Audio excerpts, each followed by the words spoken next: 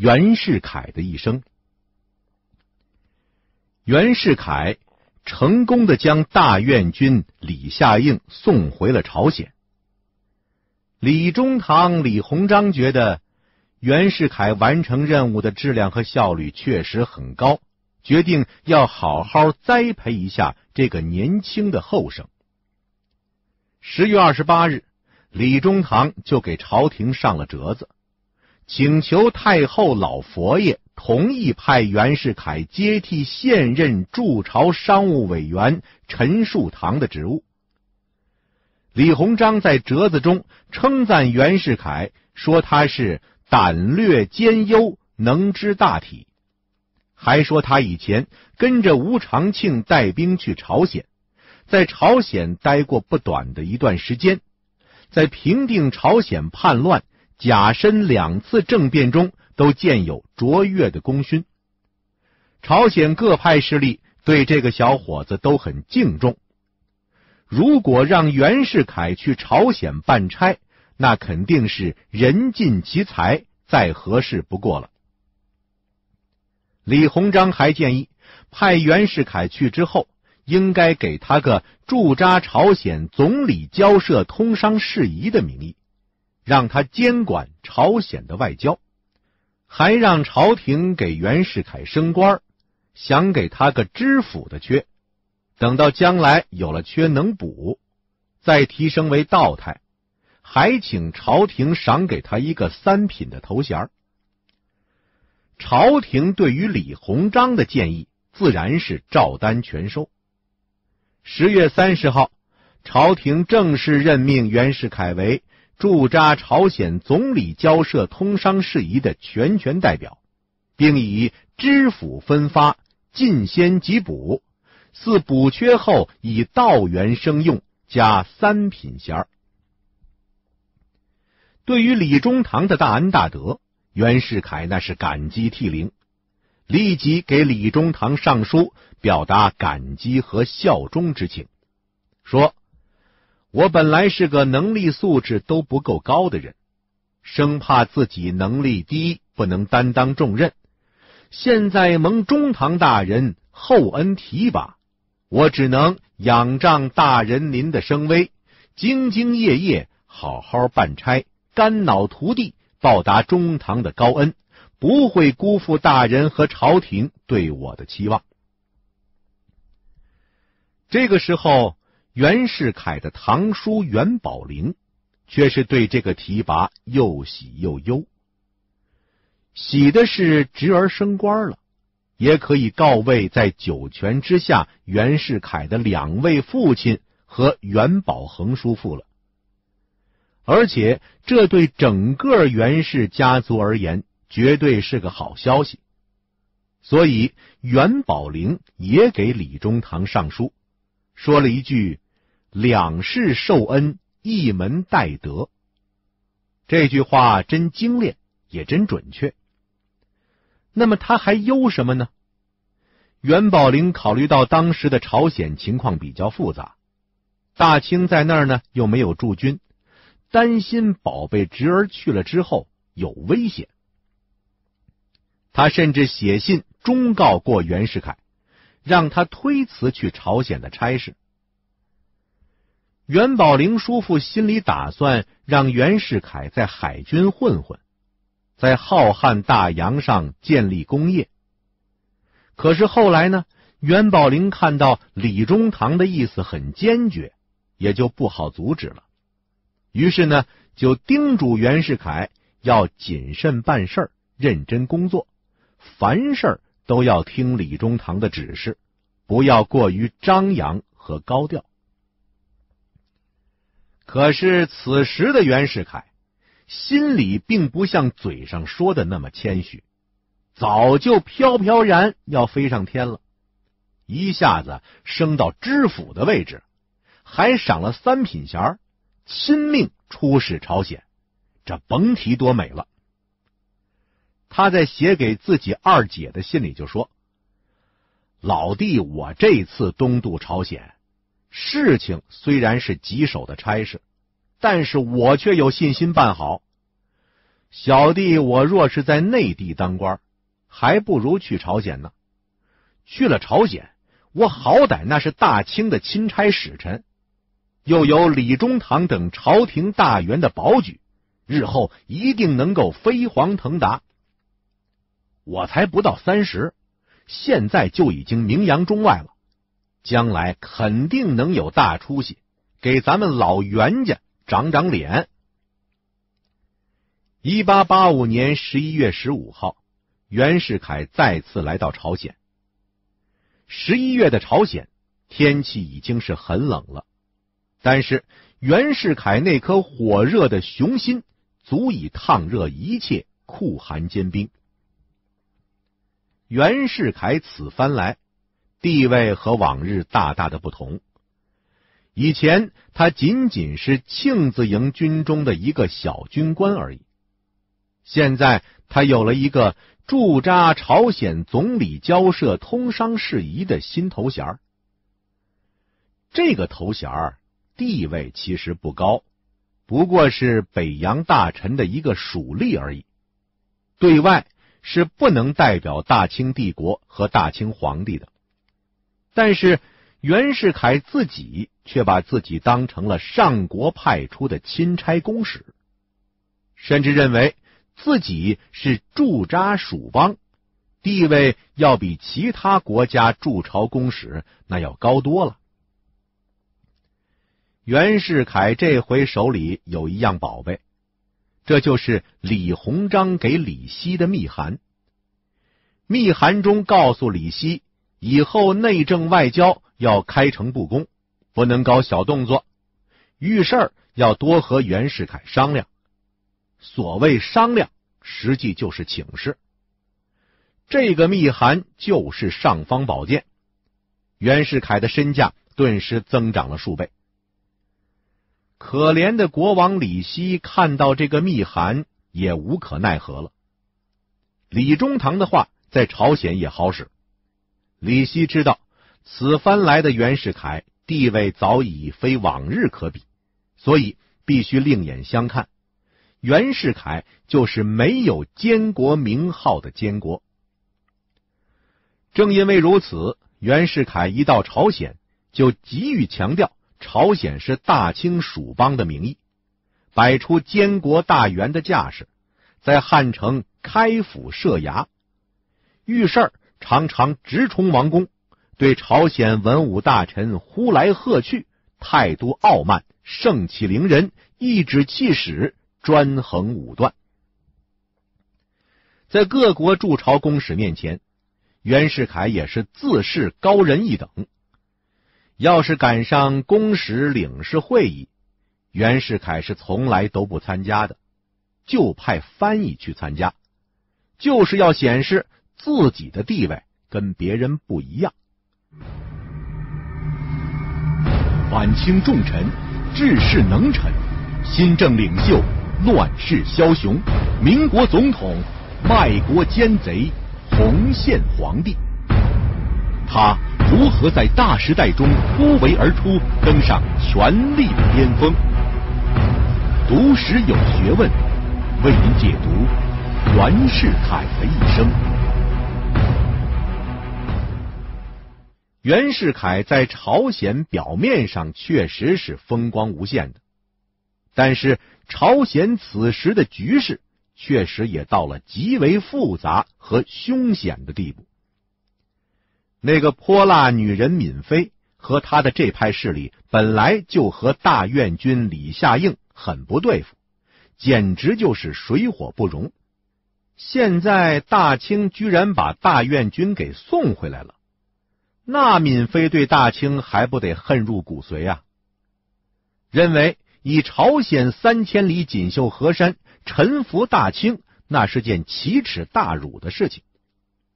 此外，一些朝鲜官员也总在李希的耳边吹风，说朝鲜应该和俄国结盟来抵制大清。袁世凯在朝鲜执行的又是一条强硬的、很过分的霸道路线，这就让李希和闵妃。都有一种如芒在背的痛苦感。朝鲜对大清的离心倾向已经是越来越严重了。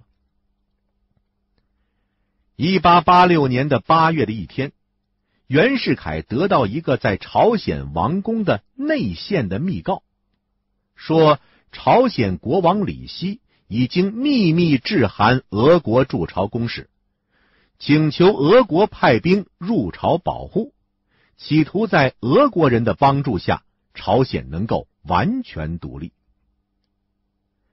袁世凯确认了情报的真实性之后。一个很可怕的决定涌上了心头。他立即打电报给坐镇天津的李鸿章、李中堂，提出应该把李希这个国王废掉，重新找个姓李的当朝鲜国王。袁世凯的意思是要赶在俄国出兵之前动手，派出北洋兵舰带兵东渡，收拾掉李希。袁世凯这边打电报，那边就已经开始动手收拾朝鲜人了。他叫来朝鲜当时的宰相沈顺泽和副宰相金洪吉，要他俩把朝鲜政府请求俄国人保护的秘密文件给交出来。朝鲜人当然不会承认，这俩人一口咬定没这回事儿。要是有什么文件，那也是奸人伪造的。在袁世凯一番声色俱厉的威胁说完之后，沈顺泽和金洪吉两个人立即派人去俄国公使馆询问，问问俄国人知道不知道秘密文件的事情啊？其实啊，他们就是做给袁世凯看的一个秀而已。俄国人也懂得配合。当然，矢口否认有什么文件的事情。当袁世凯再次找沈顺泽这些人索要秘密文件的时候，朝鲜人就用俄国人也不承认有什么文件的事儿来答复袁世凯。这下袁世凯更怒了，他又给李中堂打了个电报，请求李中堂快派大员带兵入朝鲜调查此事。并且说，只要派上五百精兵，就能废掉李希，还能抓住那几个罪魁祸首，押到天津去问罪。袁世凯还是想废掉李希。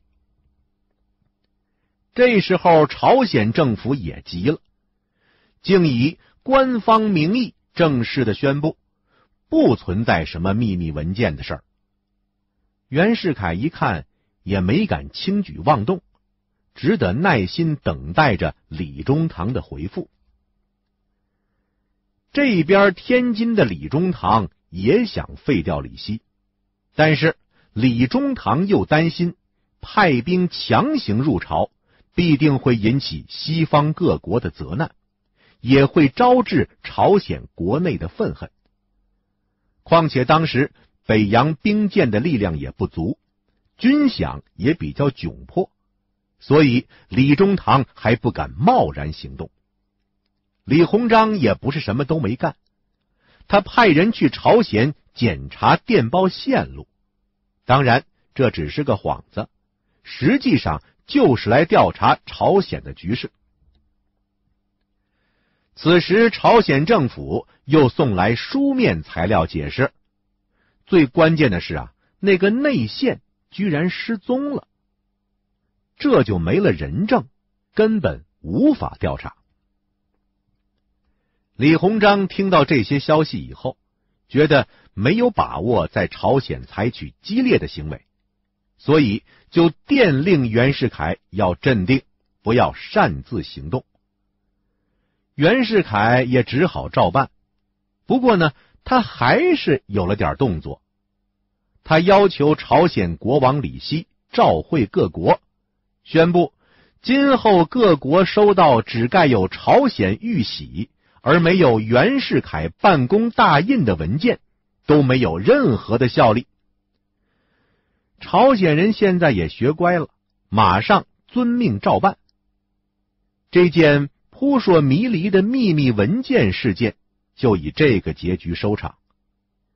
远在天津的李鸿章也觉得这结果很满意，当然，他也觉得袁世凯办事能力还是不错的。秘密文件事件虽然就这么不了了之了，袁世凯的心里对朝鲜君臣肯定是更加不放心了，他要亮出更为铁腕的手段。在袁世凯的意识世界里，朝鲜是大清的藩属。他若是有任何想显示自己独立性的念头，甚至是行为，那都是对大清尊严的挑战，都是对宗藩体制的破坏。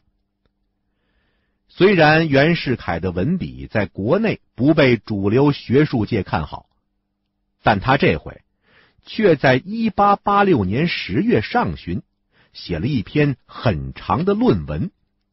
这是献给朝鲜国王李希和闵妃的论文。论文的标题就叫做《朝鲜大局论》。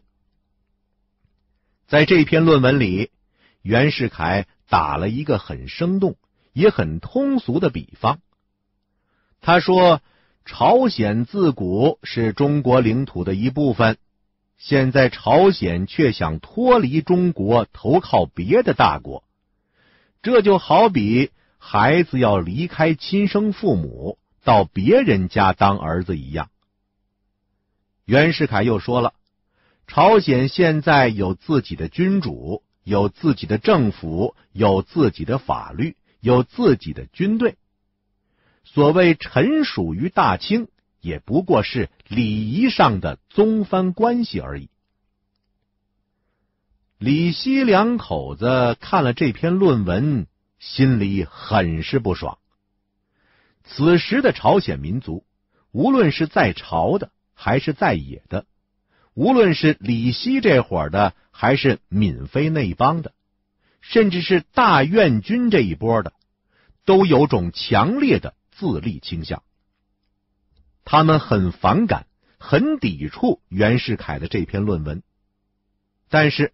面对这位虽没有监国名头，但却是铁腕监国的袁世凯，这种不满没有外露出来，但是怨恨在内心一直积蓄着。袁世凯读书不多，他一直相信自己的强势立场和霹雳手段可以压服李希两口子。他没有想到，这种威慑下的屈服并不可靠，反而为自己的成功洋洋自得。他在给二姐的家信中说：“老弟，我现在是只手撑之东方大局。远在天津的李中堂得知袁世凯有点飘得过分了，就写了一封信，把他狠训了一顿。这回。”袁世凯才低调下来。一八八七年八月，朝鲜国王李希派出朴定阳为全权大臣出使美国，赵晨熙为全权大臣出使英、俄、德、意、法五国。袁世凯听说之后，立即向国内的李中堂报告了这个消息。李中堂责人给李希打去了电报，要求他首先向大清军机处和总理衙门请示，得到批准之后才能派出使臣。其实大清并不在意朝鲜派人出使外国，只是这手续不合法。李希呢，则完全没有理会李中堂的指示。密令朴定阳和赵晨曦两个人离开了汉城。袁世凯知道以后啊，立即直冲王宫，要求李希马上把这两个使臣给追回来。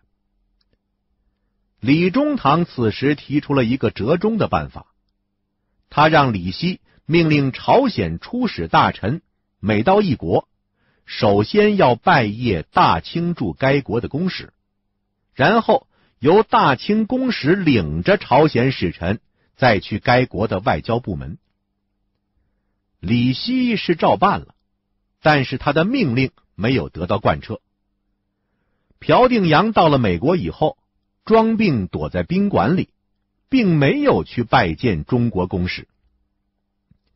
袁世凯马上让李希将朴定阳给调回来，严加惩处。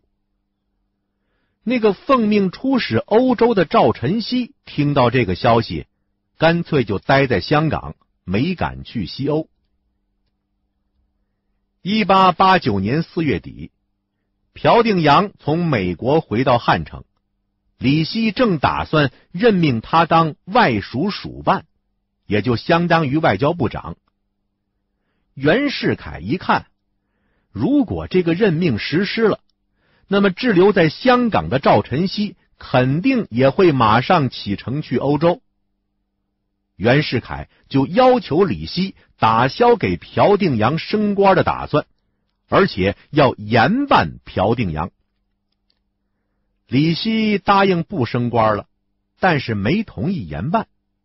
袁世凯则坚持要办，根本就不和李希讨价还价。最后。国王屈服了，将朴定阳撤职，并禁止其日后在外事部门供职。袁世凯在朝鲜执行的是一条铁腕的强势路线，他想做的只是维护大清的上国尊严，而李希呢，他不过是要自尊的生存和自我的证明。他感觉到拥有三千里锦绣河山，却要向别人屈服，这实在是屈辱。袁世凯没有错，李希也没有错，他们的冲突是信念的冲突，在大时代里，他们都不过是浪花一朵。